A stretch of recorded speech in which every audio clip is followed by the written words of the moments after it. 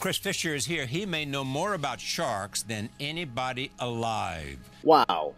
What a statement. I guess that's pretty accurate, unless, of course, you count the thousands of field researchers in the world, the PhDs, and the knowledge in my left finger. When at the end of 2015, I will have led my 25th expedition. Cousteau led 27. I'll be 46 years old. Wow.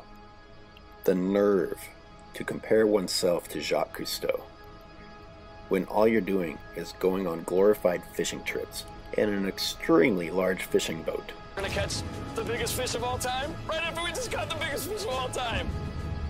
You haven't discovered anything. You go to the places where we already knew white sharks are, where there are already scientists researching them, and you call them expeditions.